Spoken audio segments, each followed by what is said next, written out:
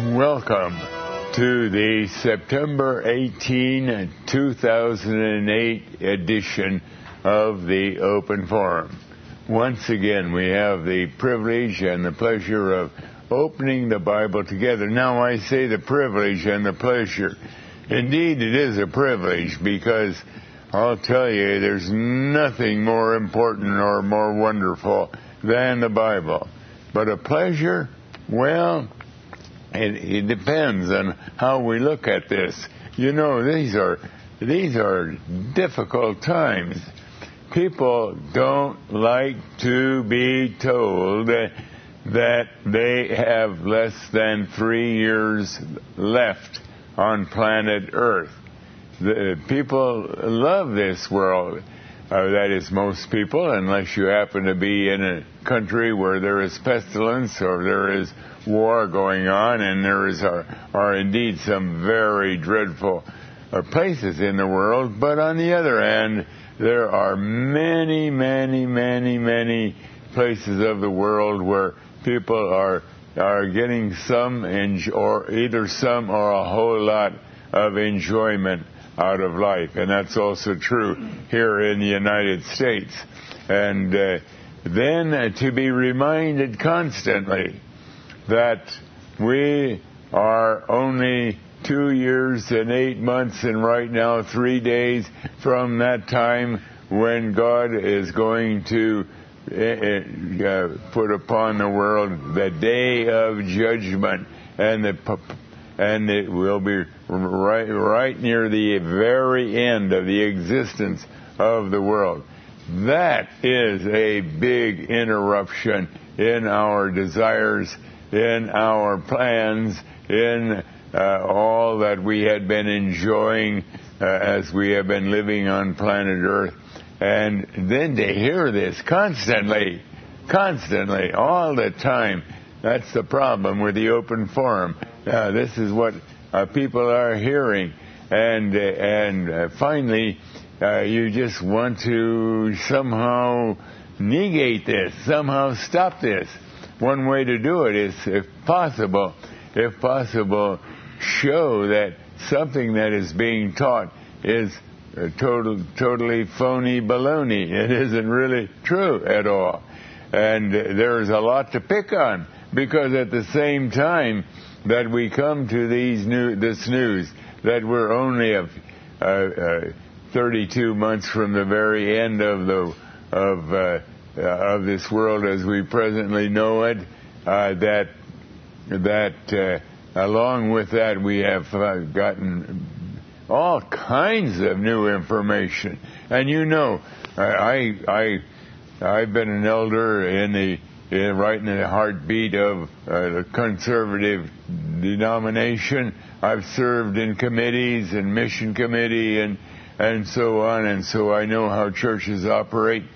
And you know, uh, throughout the church age, if someone came along with a uh, a doctrine that was a little different from what they had presently been holding, uh, that doctrine would not be accepted until it stood the scrutiny of committee meetings and and discussions and people writing about it for a long time, and then maybe it would not be accepted.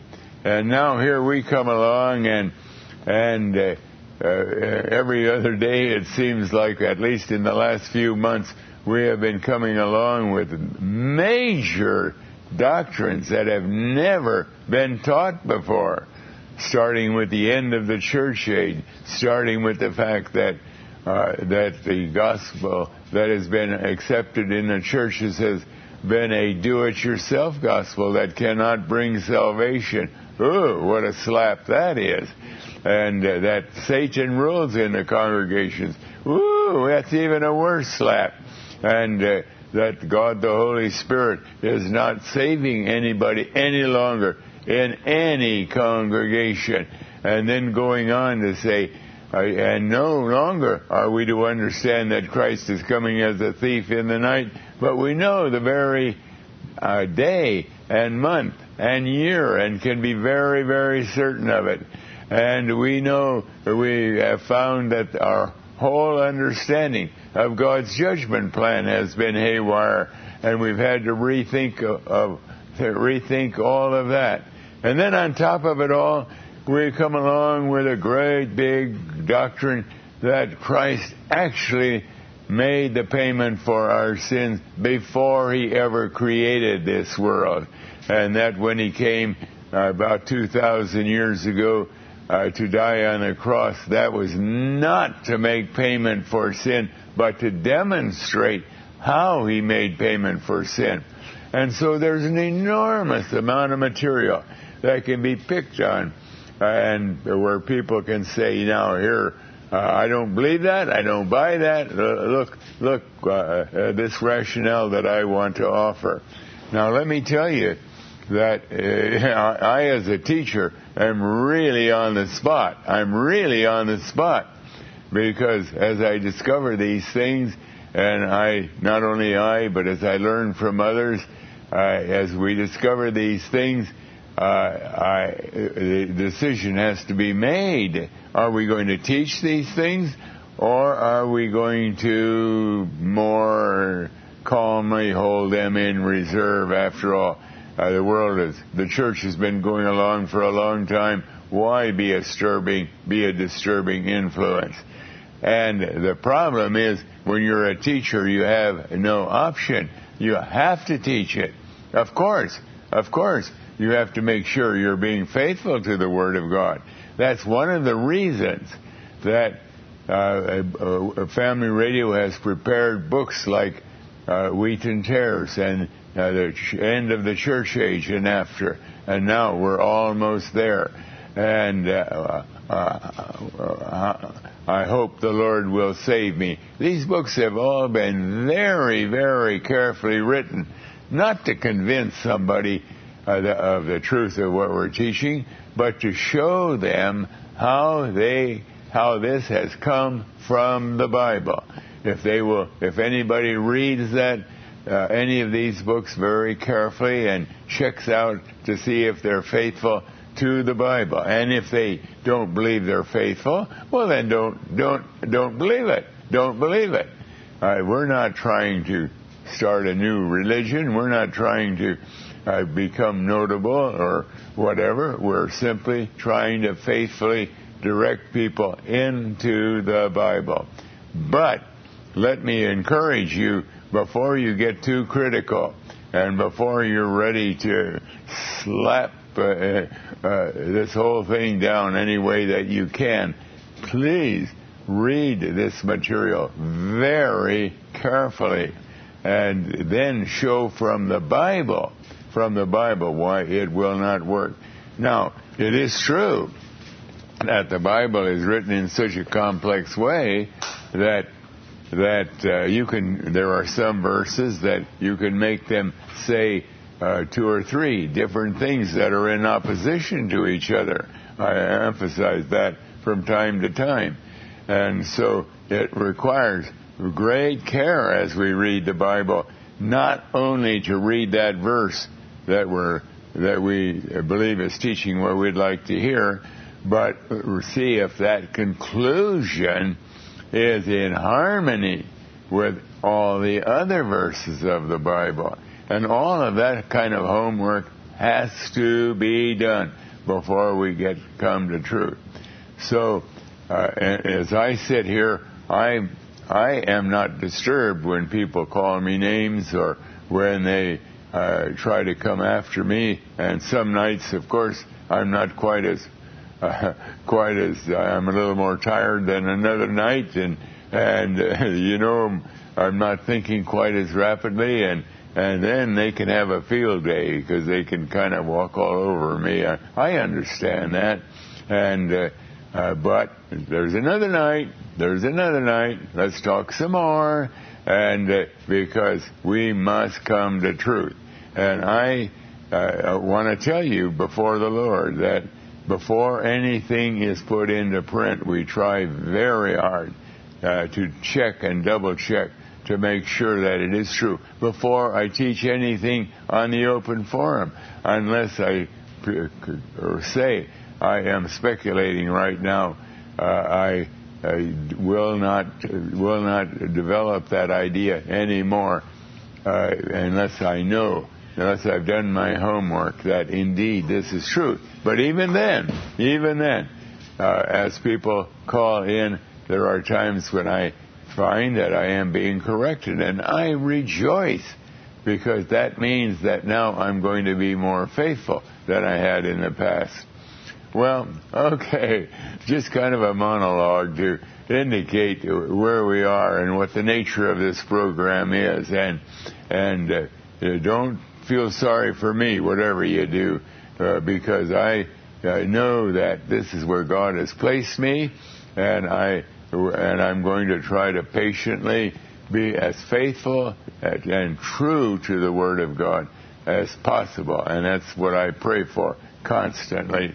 But I also hope and pray that you who are being disturbed, and, and this is so such an upsetting time to think that maybe we only have two or three years left and it's all over, and all my plans uh, for the future don't mean a thing at all.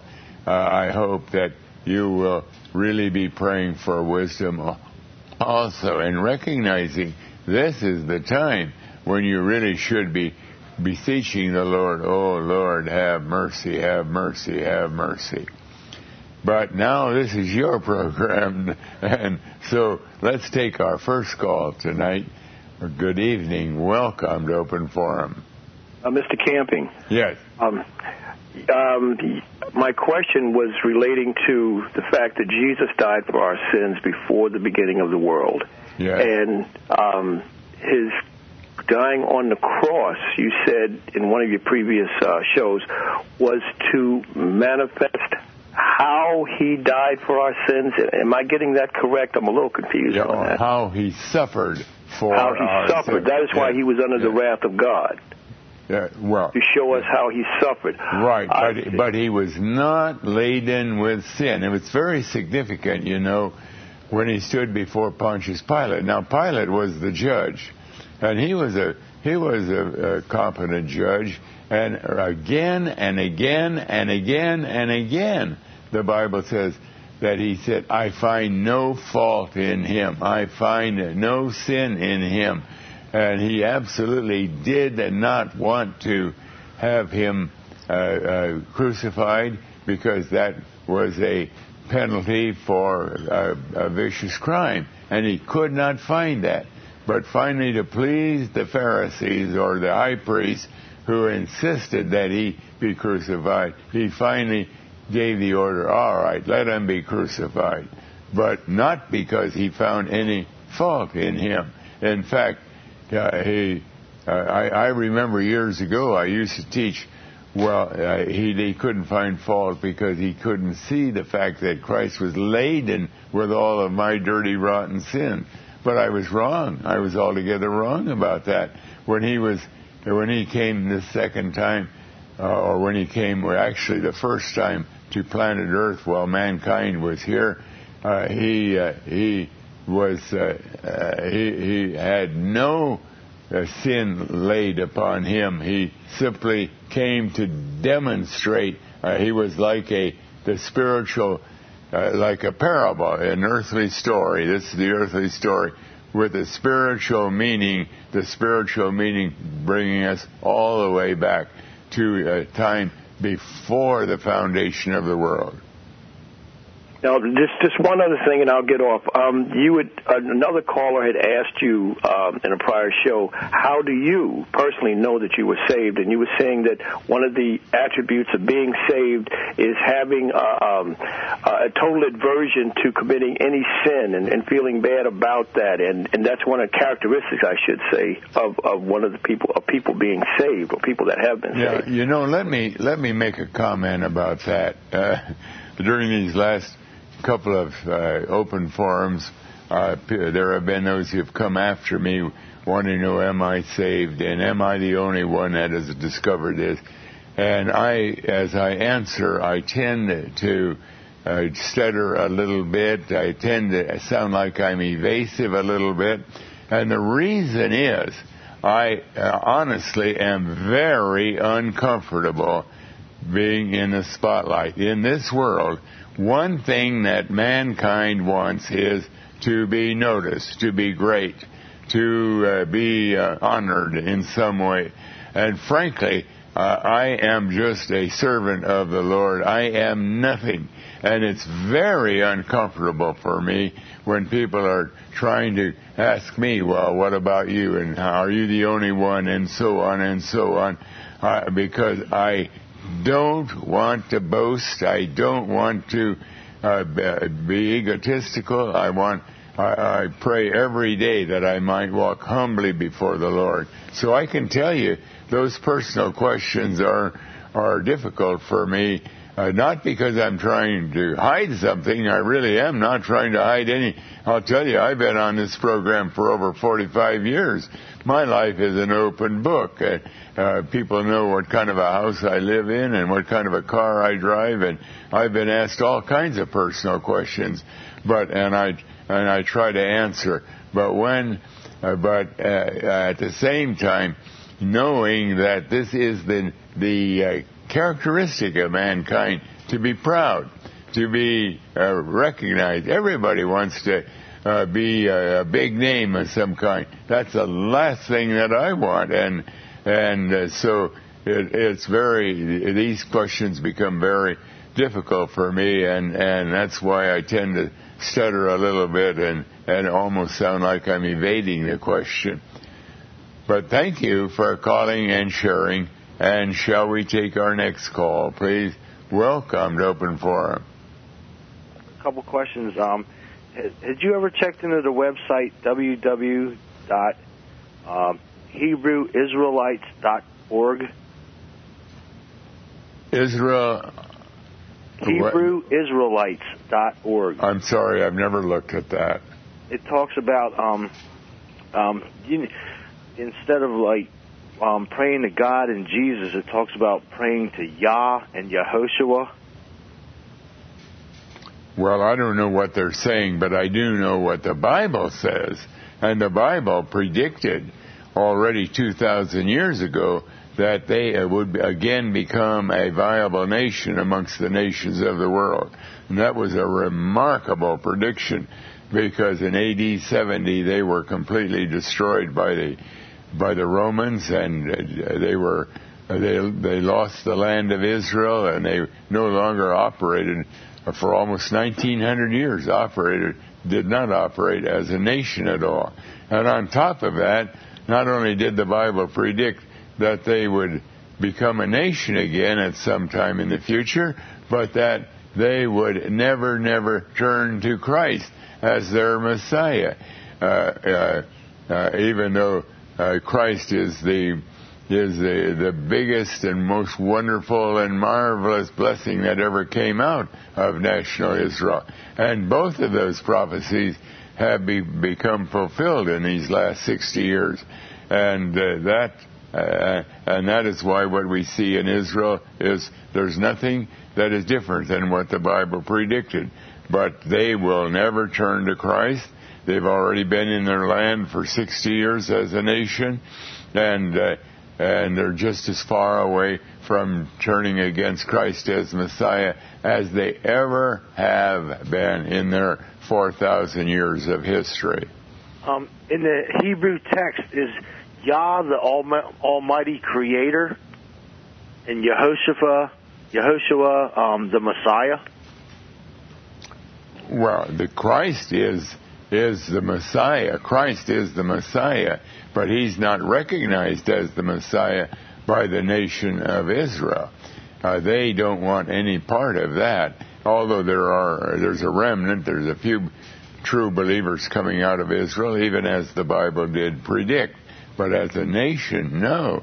And you would think that given the enormous impact that Christ has had on the world, that even though they disagreed with the theological position of Christ, they at least would be proud of the fact that he was a Jew. He came from the line of Abraham and David, which he did. And, but no, no, there's nothing like that officially coming out of Israel. But thank you for calling and sharing. And shall we take our next call, please? Welcome to Open Forum. Hi, Mr. Camping. Um, I'm trying to understand in your book, we are almost there, uh, pages 26 and 27, where you talk about Jesus' birth being October 2nd, um, the Day of Atonement, which is the seventh month, the tenth day. And then um, it appears you say that the first day of the first month of the Jewish calendar would could be only as early as March 7th. So if you go from March 7th and you go seven months and 10 days, you get to October 17th. So I was wondering how you how you got October. 7th. Well, wait a minute. Where where did October 17th come from? I, didn't, Um, I didn't. I didn't say anything about October 17. I don't think. No, no. What I'm saying is that um, the first day, because you have in um, your book on page 26 that right. um, it says um, we learned that the first month of each year began as close to the spring vernal equinox as possible, but no earlier than 14 days before the spring equinox, which is March 21st. So 14 days earlier is March 7th, right? Well, uh, you know, uh, uh, may, may I uh, suggest this before you before you begin to raise questions? You, you, there are a, a number of questions that can be raised uh, uh, when you begin to read the book, because as I indicated there that the first development of the timeline of history was uh, somewhat uh, of a shaky structure. In other words, uh, uh, proofs were not uh, found yet as to whether I was doing this correct or not, although as uh, this has been developed over the last uh, 20 or 30 years and and uh, uh, each time it's all been done very carefully. But it's only when you get right near the end of the book that you begin to and now we're we're looking at the structure, and and you can shake it a little bit maybe. Uh, it's not really solid, but then come the proofs, and the proofs land right land us right on those dates and cannot be one day away, so that we know absolutely the the the preliminary work had all been done accurately. Otherwise, the proofs would not come out. And so I would suggest that before you, uh, you, you will have some questions early on, but finish the reading of the book very carefully, and then see once what questions you still have. But thank you for calling and sharing. And shall we take our next call, please? Welcome to Open Forum. How you doing tonight, Brother Camping? Very well, thank you. It seems like you're getting stronger and stronger each night as you go. And I thank God for you. But I have a question for you. It seemed to me like the Uh, excuse me. Uh, excuse me. Would you be kind enough to turn your radio off? Or we're getting some feedback. Okay. Thank you. Yeah. it seemed like to me that the evangelicals and the liberals and the conservatives all seem to be a bunch of racist people, and all of them think they are Oh, saved. oh, oh, please, please, please, please. I don't like you. I have you talk that way. We don't want to call names, and uh, we uh, we can have our uh, we can think this or think that, but it's not kind to call names, and they. Uh, uh, everyone is trying to live out his life as best he can, and uh, if we want to call names, look in the mirror. Please look in the mirror because uh, I'm the one. Each one of us is the one that has to be judged. Not we don't point the finger at anybody else. And so please, please don't on this program begin to call people names. Well, okay, how can anybody be saved when they have hate in their heart? Then how what? How can anybody be saved when they have hate in their heart? Well, but that's the nature of man. How can anybody become saved? Period. Not one of us can become saved. Nobody has got a corner on uh, being able to become saved. Or God has to do the saving, and He did. And the Bible insists that He came for sinners. He came for sinners, uh, uh, Christ died for sinners and not for good people. And so, and it's not for us to point out sin. I'll tell you, you you uh, can look in any direction at any human being and look for a little bit, and maybe not long at all, and you're going to see sin. You are going to see sin because that's the nature of this world, and and uh, uh, that's why I always say, look in also in the mirror, uh, that because you're going to see sin in your own life, and that's where you have to go to work on it to try to uh, er- eradicate that sin, crying out to God for mercy, crying out that you might become a child of God. Because once we become a child of God and we have been given a brand new resurrected soul, then we find we can really begin uh, to make a frontal assault on the sin in our life because we, we have such an increased and enormously increased desire to be obedient to the law of God. But thank you for calling and sharing. And shall we take our next call, please?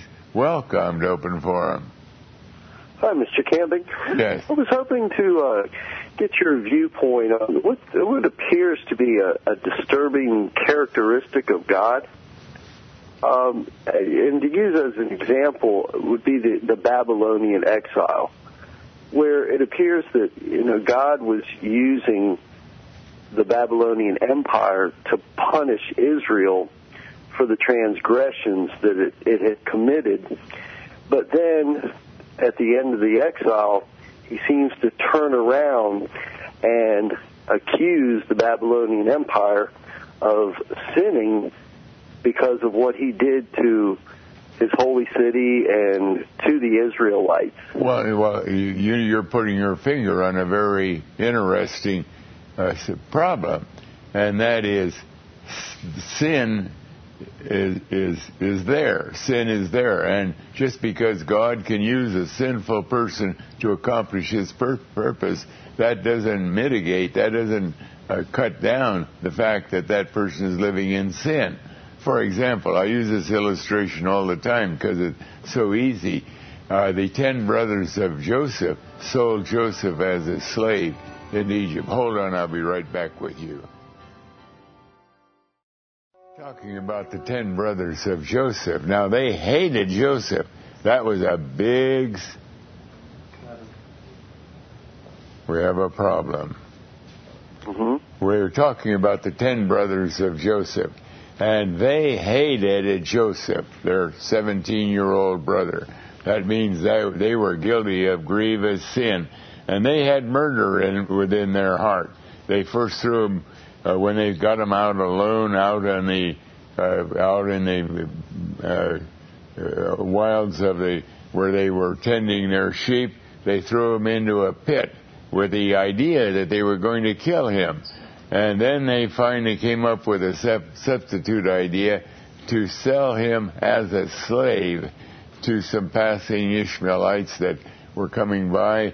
And what a terrible thing, because as a slave, he could end up where? Uh, just under any kind of a horrible situation. And it was a cruel thing that they did. And yet, later on, Joseph, under the inspiration of the Holy Spirit, says to them, You know, you meant it for evil. You meant it for evil, but God meant it for good.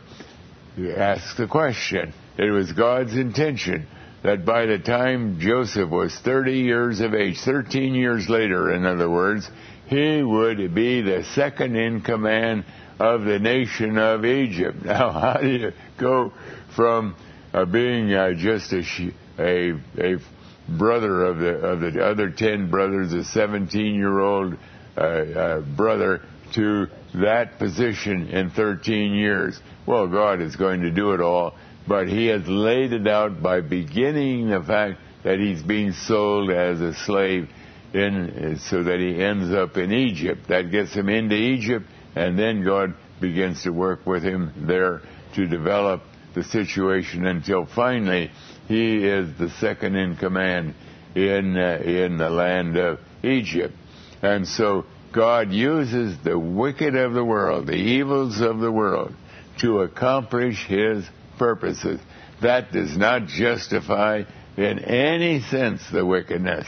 That does not lessen the guilt of those that are committing that wickedness, but is simply that God is, is indicating that He is in charge of this whole world, and He finally uh, will use whatever He wishes to use. He can use uh, people who are true believers. He can use the most wicked of the world, like Satan, which he really is right now, as he has assigned him the task of running all of the churches, the congregations all over the world.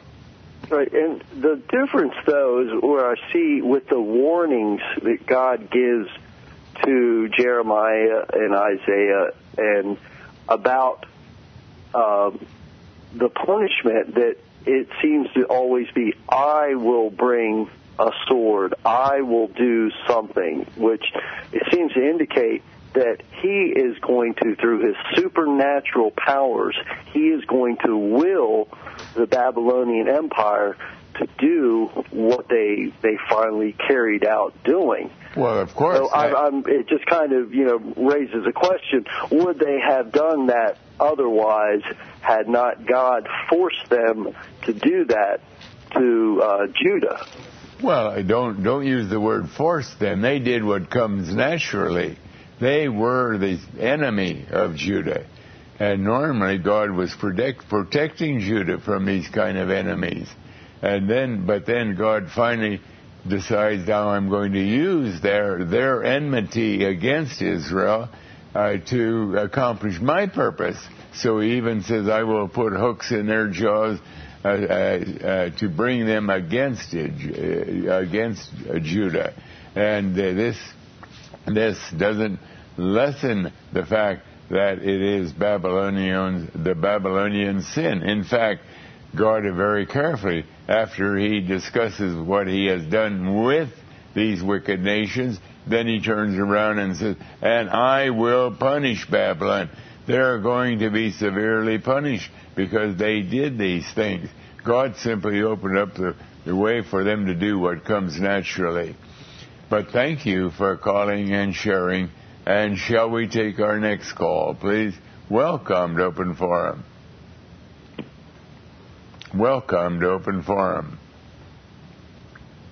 The number, incidentally, to call is 1 800 322 5385. 1 800 322 5385. And uh, shall we take our next call, please? Hello. Yes, welcome. Go ahead. Go ahead with your call. I have a question. Oh, excuse me. Would you turn your radio off? We would appreciate it. Uh, I just want to I know if you believe in dispensation of grace today. Do Can you read uh, Ephesians 1 7, please? Do I believe in Ephesians chapter 1, verse 7? Is yes, that your sir. question? Let's yes. look at it. Let's look at it. Ephesians chapter 1, verse 7. Verse 7. There we read, uh, in whom, talking about the Lord Jesus Christ, in whom we have redemption through his blood, the forgiveness of sins, according to the riches of His grace. Absolutely. Now, when it says that through His blood, it means that He gave His life. He died uh, and and had to come to life again to be our Savior, and uh, and by this means, because He made the payment demanded by the law of God, which ends up with death and finally the second death, total annihilation because he uh, took our place in all of this. Therefore, there is forgiveness of sins. We are under grace today, sir. I'm sorry? We are under grace. Well, grace, you. For today? The Do you believe we are under grace today for salvation? the definition of grace is the free gift of salvation. The free gift of salvation. That is the grace of God. And anybody who has become saved has is under grace. He has received the free gift. He paid absolutely nothing for it. The free gift of salvation.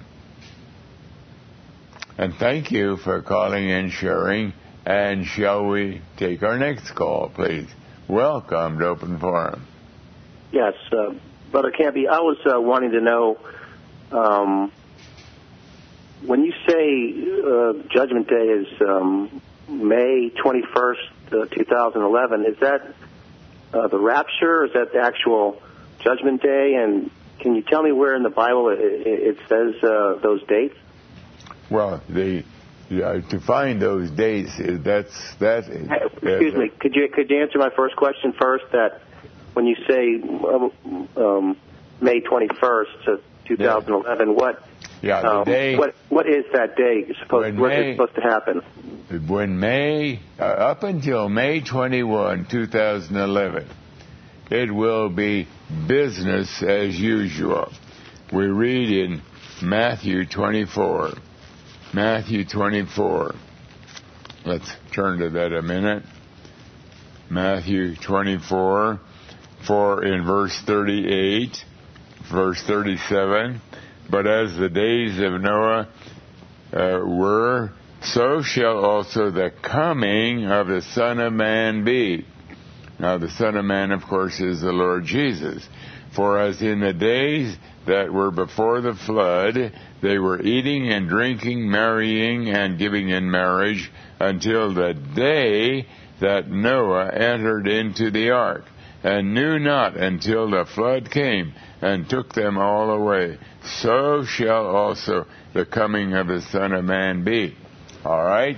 Now, Christ is coming for two purposes. One purpose is to catch up all the true believers into heaven because they have no part in the day of judgment. Uh, they, uh, they, he's coming. He's going to uh, he's going to throw open the to- all the tombs, and the bodies of the true believers were going to be caught up and and and go to heaven on that day.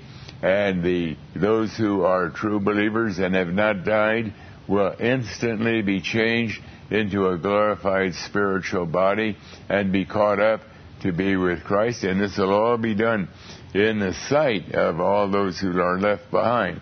But it is also the day that begins the day of judgment. Now, just like uh, God took six days to create the heavens and the earth, and then He uh, sums it all up. In the day that God created the heavens and the earth, so uh, the day of judgment is spoken of as a single day, even though we find in studying the Bible very carefully, it encompasses a period of 153 days.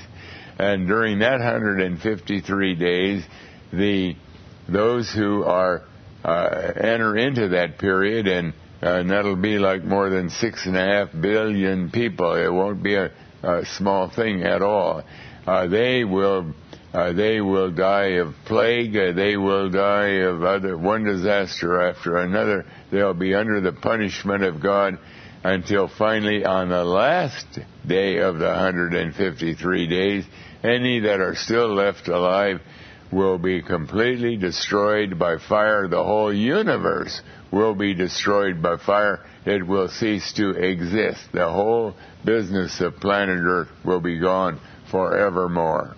So is that the rapture? The, no, the rapture is on the first day. The rapture is when the graves are thrown open and the people is, are caught up uh, to be. Pardon? Is May 21st, 2011, is it the rapture that day or is it judgment day that day? It's both. It's both. It's the day that the true believers are raptured and it's also the first day of the day of judgment. Believers will be caught up in heaven, and then judgment day will, will come. What about the three and a half years of uh, Daniel's tribulation?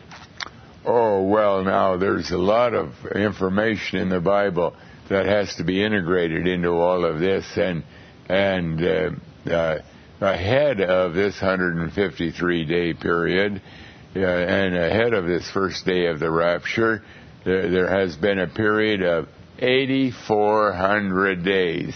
That is called in the Bible the period of great tribulation. It's a period of testing time, and uh, during the first 2,300 days, uh, and incidentally, we know exactly when this began. It began in, in on May 21 in the year 1988, and then uh, for 2,300 days until September 7, 1994, virtually no one became saved. God's judgment is, is beginning to fall on the whole world, particularly on all the congregations. No one is being saved. But then, for the sake of the elect, there are a lot of people yet that God has not saved, and yet He had planned to save them on September 7, 1994, uh, which was 2,300 days after the beginning of this period the Bible calls Great Tribulation. God again poured out His Holy Spirit, not in the churches. They remained under the wrath of God, under the judgment of God. Uh, there was no change for them. They remained under the under the rulership of Satan that had begun uh, at the beginning of the 2300 days. But out in the world, there uh, God uh, poured out His Holy Spirit so that the last 6100 days of the 8400 subtract 2300 from 8400 you have 6100 days exactly. During that period God now is saving a great number of people all over the world not utilizing any church at all not utilizing any uh, organization it's, it's, between God and that individual. The role of, of, an organization like Family Radio is we have no spiritual rule over anybody. We are simply uh, a teacher. We are try, trying to encourage people to read the Bible because it's between God and that individual as he reads the Bible, and and also uh, helping them uh, to give uh, to uh, understand some of the difficulties of Bible uh, uh, of what the Bible is teaching. But we have no spiritual rule over anybody. And during that 6100 days, there's a great multitude being saved, and they, at the end of that 6100 days, is May 21, 2011, which is the time of the rapture, which is the time of the beginning of the day of judgment. But thank you for calling and sharing. And all of this is carefully laid out in the book. We're almost there. And in another few days, we'll have a, a second volume.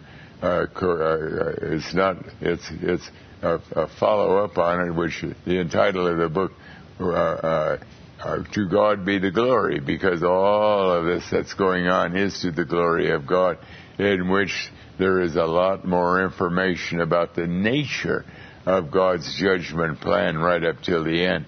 And uh, all of this is, is what we're now learning from the Bible. But thank you for calling and sharing. And shall we take our next call, please? Welcome to Open Forum. Yes, good evening, Brother Camping. Uh, can you hear me? Yes.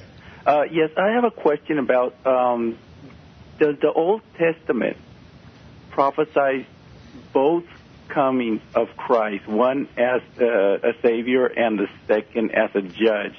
My understanding of the Old Testament is that um, God promised to send a Savior, but I don't I don't see anything that says that He will come first as um, Savior, and then he will return as a judge.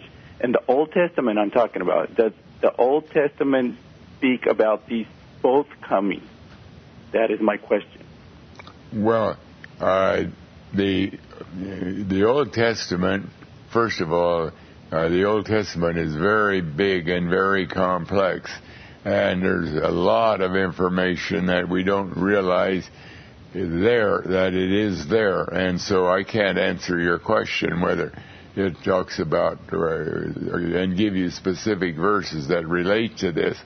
But I'll tell you, the Old Testament is uh, is amazing at how much truth there is in it. But we do know this that God, the whole Bible, has, really has always, like in the Psalms, for example, when we read the Psalms very carefully, they prophesy of Him coming as the judge. They prophesy of Him coming as the uh, uh, to to be the Savior. That and and then later on we learn that it was not to make payment for our sins when He comes when He came in 33 A.D but that he came to demonstrate how he made payment for our sins. And all of this comes together bit by bit, a little piece here and a little piece there, until finally we begin to understand the whole picture more so than ever before. But thank you. Follow up question on that. So, what, um, when Christ died on the cross and he said, "It is finished," so it was finished, why did um, why did this world continue to be in existence and life continue if it was finished? Well, the fact is, when he said it is finished, he was not saying, now I have finally paid for the sins of those that I came to save. That's the way we used to understand it when we had not the whole uh, lot, a whole lot of information uh, that God now has opened our eyes to. When He said it is finished, you see, the what was happening from the time that Christ was born all the way until He went back to heaven is that this is like a huge parable. I call it a tableau. It's like a uh, it's a it's a three-dimensional picture. A parable is is a portrait or a picture of something spiritual. And the portrait doesn't necessarily follow in exact detail. For example, when God uh, uh, uh did such things as uh, uh used the uh, raising of a, of a dead man, or of healing the eyes of someone who was blind, or healing a leper, all of these were tableaus. That is, they were three dimensional pictures. Now, when that man was blind and could not see, he was a portrait of the fact that before we're saved, we are spiritually dead and we uh, have no spiritual eyesight. But it, there's a, a lot about uh, uh, our salvation that is not seen in that particular portrait, but there are some things seen.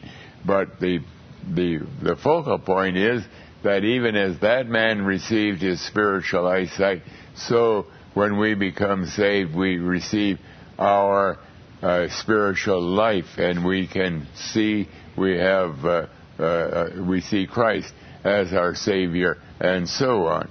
Now that's the same way when Christ was born of the Virgin Mary. God had to show for sure that when He made payment for our sins, He had taken on a human nature. He doesn't tell us how He did that, but to demonstrate to us that He had really taken on a human nature, we see that He was born of the Virgin Mary.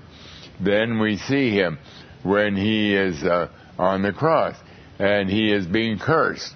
Now, it doesn't mean that he was on a cross back there before uh, the before the foundation of the world uh, to become a curse, but it does indicate he had become a curse. But to demonstrate that, God used a a means that clearly showed someone was under the curse of God. Anyone who is hanging on a tree is cursed of God. And likewise, when he died, uh, he he uh, uh, it doesn't mean that it's showing exactly how he died before the foundation of the world, but it does show that he died. And so when he said it is finished, that was a major tableau, a major parable that had been finished. He still had to show another part of it, and that is that he's in the grave. And yet, when he's in the grave, it isn't uh, it, it isn't exactly like he was in the, uh, dead and in the grave before the foundation of the world.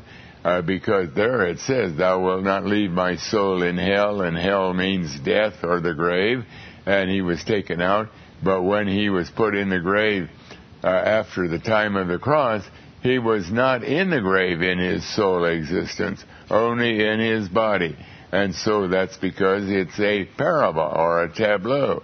It is demonstrating that he rose from the grave, but it's not demonstrating every aspect of everything that occurred before the foundation of the world.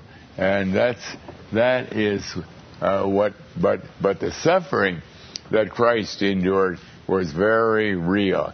Uh, even though it was not now making payment for sin, that the suffering uh, was first accomplished when he was still Christ, before he was the Son of God and that was very real. And now, as the Son of God, he had to suffer all over again without without a need to to pay for any sins, but simply to demonstrate to the principalities and powers and to all of us, because it's written, it's spread out on the pages of the Bible to demonstrate how he suffered in making payment for our sin. Thank you very much, Brother Camping. Thank you for calling and sharing. And shall we take our next call, please? Welcome to Open Forum. Hi, Brother Camping. I have two questions for you. Yes, go ahead. Um, I want your viewpoint.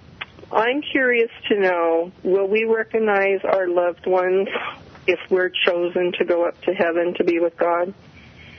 Will we recognize which? Our loved ones. Like, will I recognize recognize my dad? Oh, I. We have no evidence that we will. You know, in this world, God has designed us. Remember, God is our creator. And He has designed us so there's a very tight love relationship between members of a family. Uh, that is in order to, to make the human race develop. It had to develop through the family. That's where the children come from. And so uh, God therefore put a, a, a lot of uh, uh, natural love uh, between father, uh, uh, Uh, uh, husband and wife, and between children and parents, and, and so on. And therefore, uh, now, of course, as we're thinking about the future, we would like to continue that very intense love relationship into the hereafter and know that uh, this is my dad or this is my mom and so on. But once we are raptured, it's one by one. Two are in the field, one will be taken, the other is left. We, uh, we enter into a new kingdom altogether where family does not play a part. We're all sons of God or we're all the bride of the Lord Jesus Christ. And uh, we uh, uh, have no uh, memory of what has happened in this world at all. We don't know uh, whether our husband or our wife or, or this child or that child became saved. We won't know that. And it's not necessary that we know that because each one has lived out his life and, and it's, it's, salvation is a very individualistic kind of a thing. But thank you for calling and sharing. And shall we take the next call, please? Welcome to Open Forum. Yes, uh, good afternoon. Um, calling regarding uh, working on the Sabbath day. Um, I mean, actually, I had a question. Uh, my name, by the way, uh, my name is Spencer Highland. I'm in Newark, California, and I appreciate your ministry. Um, now, are, when you talk about the Sabbath day, are you talking about Sunday? Yes, uh, Sunday. I I was out of work for a couple of years, and I'm a little bit concerned um, regarding. Uh, I went back and talked to the people that I uh, at the grocery store that I used to work at and they asked me to work Sunday, and I told them I got to have Sunday off for that is the uh, Lord's Day. Um, and uh, I, they said, well, can you at least work a four-hour shift on on the Sabbath day, on Sunday? Yeah, and well- I told him I'm not. I don't think I can, but uh, I just wanted to ask your input on that. Well, that's that's a very practical question and a very difficult question, and certainly you want to be pleading with the Lord and begging the Lord, "Oh Lord, could this somehow be corrected?" And go to your boss for one thing and say, "You know, uh, uh, first of all, show that you're a very fine workman. You know, work harder than anybody else, make no complaints, and then go to your boss and say, you know." I, I, I really appreciate it that you gave me a job and that I've got four hours of work. Hold on, I'll be right back with you. This is a very practical, a very difficult problem because, on the one hand, God has given us the Sunday Sabbath as a day for, for spiritual activity and not a day for work. Uh, now, it is true that a farmer has to milk his cows on Sunday. No question at all about it. He's got to milk his cows. Otherwise, he'll have a bunch of, uh, of sick cows on his hands. Uh, he, but he doesn't have to mow his, his alfalfa on Sunday. He can wait till Monday. Uh, he doesn't have to uh, paint his barn on Sunday. He can wait till Monday. But he has to milk his cows and uh, and do a minimum amount of work in connection with that. Now, but uh, on the other hand, here is you're living in town, and the grocery store is the only place that offers you a job, but you have to work four hours on Sunday. And I would, what I would do to begin with, uh, uh, besides pleading with the Lord for for help and for wisdom, and I'd really be pleading with the Lord for help and wisdom. The first thing I would do, I've got to show my boss that I am really thankful for this job, and I, uh, I there's no complaints that come from me. I'm really going the second mile when it comes to working as hard as possible. Then I would go to him and I'd say, you know, I'm really grateful for this job, but I, I'm having a horrible time with my conscience about this matter of working on Sunday, and I would be willing to work extra hours during the week, nighttime or whatever, uh, if if only I could get uh, you could make some kind of a, an arrangement where I did not have to work on Sunday any longer, and uh, and uh, in the meanwhile, I would also start looking around. Maybe the Lord will provide another job, but it's something that that you really uh, you really want to be working at in prayer, mainly in prayer, but also in trying to show that you are very, very thankful, and and uh, hopefully you won't have to work those four hours on Sunday any longer. Input, Mr. Brother Camping. Yes. Have a good evening. Thank you for calling and sharing. And shall we take our next call, please? Welcome to Open Forum. Uh, Mr. Camping, hi, how you doing? Very well, thank you. All right. I'm glad that you take my call. I got a question for you. Uh, you say hell, uh, hell is equal to grave, is that right? I, I'm sorry, what is your question? You said the grave is equal hell, is that right? The I- grave. I'm sorry, I'm still not. You said the gra- grave. oh, oh, what the grave. The oh, grave. hell is the grave. Is yeah, you equal said to hell. it's equal hell, is that right? Yes, the hell is the grave. That, uh, uh, like, for example, in the parable of the rich man and Lazarus, that is recorded in in uh, uh, in uh, Luke 16, the rich man died, and in hell he lifted up his eyes. But the poor man, he died and was buried. You see, uh, uh, but the rich man died, and in hell he lifted up his eyes. Now, wait a minute. When the rich man died, he was put in the grave. He was put in the grave. You don't, uh, a, a, a man that dies, anybody that dies is put in the grave. and so, uh, uh, but but it but it's a word that is translated hell because the translators don't understand, did not understand that hell and the grave are synonyms.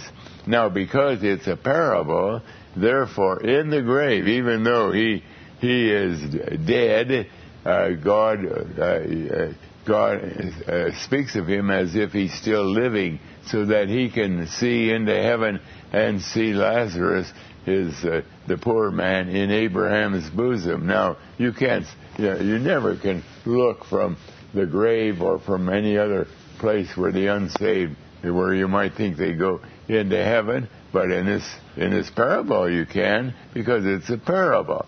And so he, from the grave, he has this this conversation with Abraham because God has a lot more to teach through this parable. Mr. Camping, Mr. Camping, what about chapter, uh, Matthew chapter 25, verse 41? Matthew 25, verse 41. 31. Oh, no, 41. Matthew 25, verse 41. Hell has been prepared for Satan and his angel.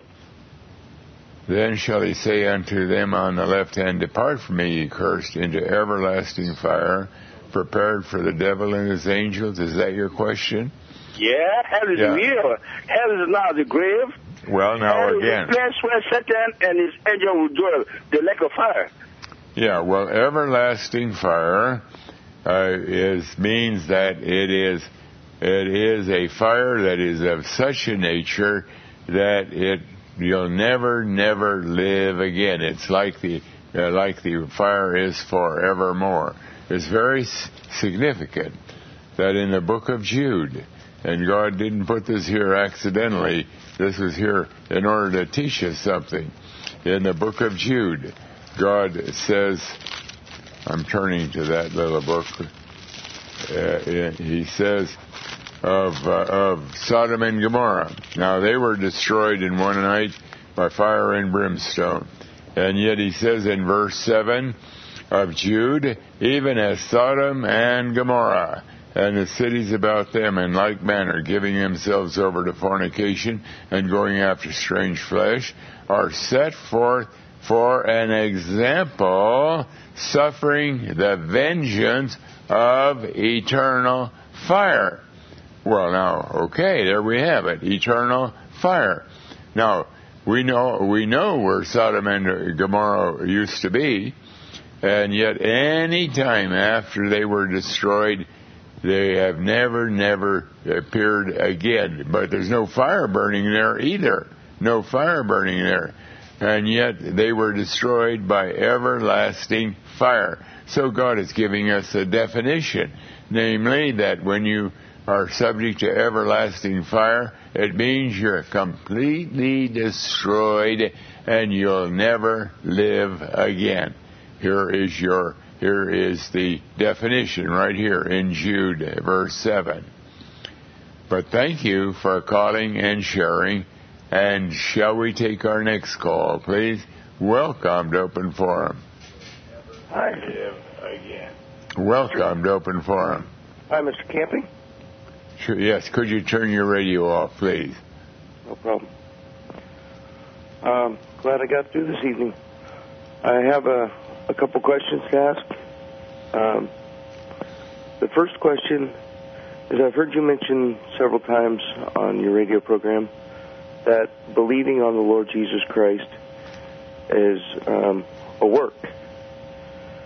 And my question is in regards to Acts chapter 16, um, right around verse 31.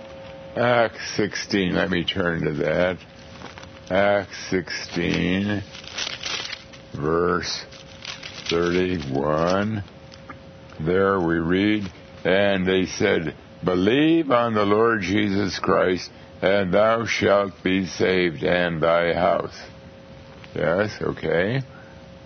Okay, so that's a part um, where where the uh, um, they came to Paul and Silas and they asked them asked them the question, you know, what must we do to be saved? Believe. But the problem is, this verse doesn't tell the whole story. You have to believe on the Lord Jesus. That's a characteristic. That's a good work that is seen in the life of those who do become saved. Uh, that uh, we we are expected to do good works, so to be obedient to the Lord in various areas, including that of believing. But the big question that's not answered here is, but how do I believe? I am dead in sins. My heart is desperately wicked. How can I believe? I, I, uh, that's a, that's that's that uh, a work that I can't I, I can't accomplish uh, w- without becoming saved. You first have to save me, then I will believe on the Lord Jesus Christ. Uh, so uh, that, uh, that's the that's the way God wrote the Bible. That unless we are comparing Scripture with Scripture and taking into account and harmonizing all the Scriptures that relate to the subject in question, we are not going to find truth. We're going to arrive at conclusions that are wrong or that are incorrect. And that's also the way this verse is looked at. People read that, believe on the Lord Jesus Christ, and thou shalt be saved. Yeah, that's true. But how, they, they, they, the question is never raised, but then how do I believe? Unless God gives me faith, unless God gives me a brand new resurrected soul. Then, yes, I've become saved and I will believe on the Lord Jesus and, and uh, my salvation is secure. So then I would have to agree with that statement wholeheartedly and say that believing on the Lord Jesus Christ is the evidence that I have become saved, that He saved me, not through any work that I've done. Well, now, now again, believing is there's a, there's a whole lot of uh, variety of believing. An unsaved person with a with a rebellious heart, which we all have before we're saved, can believe on the Lord Jesus Christ to some degree. He can believe definitely that Christ is the Savior. He can believe that Christ died and rose again. He can believe that without Christ there is no salvation, and so on and so on. He can believe a whole lot of things. But that doesn't mean that he is saved at all. He's just believing a, a lot of things. But then, uh, but the work of faith, because believing is a is the, uh, believing is a verb and faith is a noun, but it's the same word. Uh, the work of faith is something God does, that Christ does. And uh, as we go again to Galatians chapter 2, this says it. And unfortunately, this verse has been damaged in, in most Bibles. Uh, they have changed it uh, from the original Greek in order to satisfy their wrong uh, idea of what salvation is. What verse verse? 16. Galatians 2:16. Knowing that a man is not justified by the works of the law. Now, believing is a work of the law. Okay. Uh, and so he's not justified by that, but by the faith of Jesus Christ. Now, in Bible after Bible, uh, the translators, uh, in order to satisfy their idea of what salvation is, have changed that to read, uh, f- but by the faith in Jesus Christ. And this, this, uh, the Greek of this will not allow that. It is in, it is the faith of Jesus Christ that we might be justified by the faith of Christ. Now, faith is work, and Christ has done all the work. He is the one that has saved us. That's why we read in Ephesians chapter 2, verse 8, For by grace, and remember grace is the free gift of salvation, are we saved through faith. Whose faith? The Lord Jesus' faith. The fact that He was faithful in making payment for our sins, and that not of yourselves. It is, that is, the grace is not of yourselves. It is a gift of God. not of works. Therefore, not of your faith, not of your believing. That's a work that you do, lest any man should boast. For we are his workmanship, created in Christ Jesus unto good works. Uh, uh, that is, unto such good works as believing on him and of uh, uh, love, uh, beginning to love the way we ought to. And, and just like the Bible talks about in Galatians 5, the fruit of the Spirit love, joy, peace, tenderness, kindness, uh, all these things, uh, faith should be shown, would begin, should be shown or, show up in the life of the true believer. Well, this this may be the only opportunity that I get to call in, so I'm I'm going to ask you my second question. What is a man who has several children um, pray with or or teach his children about the Bible or the Bible the in biblical regards to to salvation? And and do I just reassure them that that it's all up to God and God's going to work it out in them and through them by No, the faith of Christ? You know, children have to repent. Children cry I can cry out to mercy for mercy just as readily as an adult. God tells us in Deuteronomy 6, Deuteronomy 6, where he's talking about bringing up our children, uh, and he's talking about these words, and these words means the whole Bible. Uh, these words which uh, uh, uh, uh, well, let me start with verse 5. And thou shalt love Jehovah thy God with all thine heart, and with all thy soul, and with all thy might. And these words which I command thee this day, that's the whole Bible, shall be in thine heart, and thou shalt teach them diligently unto thy children. Not just some of them, but you teach them everything you know from the Bible. And so you don't hesitate to talk to your children about sin and about the penalty for sin and the wrath of God and the fact that we've only a little more than two years left and it's all coming to an end. We should be talking very directly to our children. As uh, uh, notice, thou shalt teach them diligently unto thy children, and shalt talk of them when thou walkest in thine when thou when thou sittest in thine house, and when thou walkest by the way, and when thou liest down, and when thou risest up. In other words, this ought to be the prime conversation going on in our houses, in our homes, that we're talking about uh, the importance of the Bible and what God is teaching. And uh, so that uh, this is where we want to focus. You know, our, our children, uh, I often have thought about this, even in as I raise our seven children.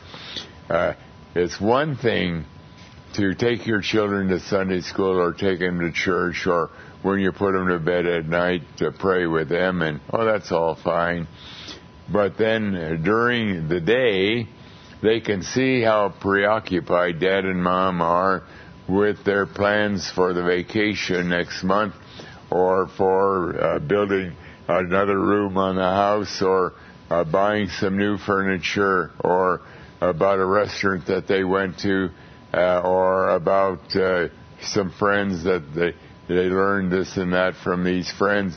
And that becomes all these things become the major topic of conversation. Then we go to our children uh, try, trying to follow Deuteronomy and 6 and, and teach them the way of the Lord and yet what they've been hearing 90% of the time is living in this world and enjoying this world and so, without us recognizing it, we're just a bunch of hypocrites. A bunch of hypocrites. We are saying one thing to our children, expecting them uh, to now be fine, uh, really understand something about the Word of God, and yet most of the time, as they are listening, believe you me, children have big ears. They they don't that that doesn't pass them by. That the, really the important thing about dad and mom is where they had, uh, what restaurant they went to the last time, and uh, what uh, they experienced when they went on this vacation, and so on. And so that's what's really important to dad and mom. Oh yeah, yeah, they they tell, tell us about the Lord Jesus, and we hear that, but that really isn't important because they don't talk very much about that. They really, it's the things of this world that are really important. And so we are just a big bunch of hypocrites. And believe you me, we can all look in the mirror on this matter to some degree. And it's a, it's a, it's a terrible thing. It's not fair to our children. Now that doesn't mean if we were able to do it exactly right that our children are going to be true believers. That's up to God altogether. But that's beside the issue. The issue is, are you being obedient to God? This is a command of God that when we walk by the way, when we lie down, when we rise up, we are teaching the things of the Bible to our children. And so our children ought to be a marvelous cudgel, a marvelous discipline in our lives to keep our attention focused where it ought to be rather than where we would like to have it just because we live in a beautiful world. But shall we take our next call, please? Welcome to Open Forum. Uh, Mr. Camping? Yes. I was wondering, have you ever thought of looking at uh, Proverbs 8:22? Proverbs 8:22. Let's look at that. Proverbs 8:22. There we read, "The Lord possessed me in the beginning of His way, before His works of old." Uh, uh, the 23 also. In verse 23, it says, I was set up from everlasting from the beginning or ever the earth was. Now we have to be careful with Proverbs 8. The subject of Proverbs 8 is wisdom, wisdom. And of course Christ is the very essence of wisdom. But we also must remember that Christ is from eternity past as Christ. He is God. He is God forevermore. And he doesn't have a beginning at some time in the past. He is Christ. But when he, before he ever laid the foundations of the world, before he did any creation, he went through the whole business of making payment for our sins. Then he uh, he uh, took on a slightly different uh, picture, and we we can't understand this at all. We just can't understand it. But he was obedient in making in in uh, in being having the sins of all those that God planned to save once he began creation laid upon him and then he had to endure the wrath of God and all of that. It's like he was a, a servant and in that sense he could identify with Proverbs as a Proverbs 8 as a servant. He was faithful. He was perfectly obedient all the way. And finally he uh, was killed. How did that happen? We don't know. And then he rose from the grave. How did that happen? We don't know. That's all uh, happening happened before he ever created the world. And then he now could be called the Son of God. The Son of God. Now in Proverbs chapter 8, I don't know whether it refers anywhere to the Son of God. I haven't gone through this uh, recently, and so I really don't know. But uh, but uh, we do know that it is a reference to Christ, and it would uh, it it would appear to be that it would tie in with this fact that he became the Son of God. Camping, excuse me. Did you know that the word set up meant poured like as a drink offering from everlasting? Is set up like we yes, that word means poured out. It's only used set up twice, uh, but the rest of the time it's like poured out, like a drink offering. Have you ever Well- looked that word up before? No, I don't. What verse are you looking at? 23 there. 23. I was set up. I was set up from everlasting. That word from, means poured out. poured out from everlasting, from the beginning, or ever the earth was. I was poured out from everlasting, that is, in everlasting past, before the earth was. That would fit if that really means poured out, and I, I, I, I haven't checked it, but I take your word for it that it means poured out. Then yes, that verse fits very beautifully. Uh, Psalm 139, verse 15. Psalm 139, verse 15. There we read uh, Psalm 139, verse 15. My substance was not hid from thee when I was made in secret and curiously wrought in the lowest parts of the earth. Yeah, again, it's a very provocative sentence, and again, without uh, really studying it word by word, I, I don't feel qualified to speak to it, but uh, uh, it's certainly what happened before the foundation of the world when Christ made payment for our sins was secret, totally secret. And that's why later on, 13, 11,000 years later, or a little bit more than that, he had to come to demonstrate how that suffering did, uh, did how how he did suffer. But uh, thank you for these verses very much. And shall we take our last call, please? Welcome to Open Forum. Welcome. Yeah, Mr. Camping, how are you? Very well, thank you. Uh, I'd like your advice on one of my children. I have four altogether. Two are out of college and on their own and married.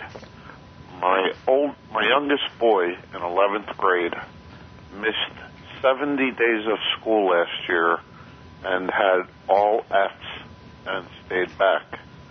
He started kind of like a mini revolution in his school because he believes everything that I believe in God and the Word. And my teachings to him has has led this on now. But is your son is in rebellion? No, he believes that the world is coming and there's only a couple years left. Yes, well, that's what uh, that he's correct, of course. That is accurate. So then he's asking, well, then why should I worry about college? And he stays uh, home and he reads the Bible and just puts a lot of time into the Word. Well, I'll tell you, you better be thankful that you have a son like that. You better be really thankful because he's he is try, trying to make sure that he is prepared, that he is a child of God, and and there's nothing more important that should that he should be interested in than the Bible. But with that, I have to say good night until our next open forum. May the Lord richly bless you.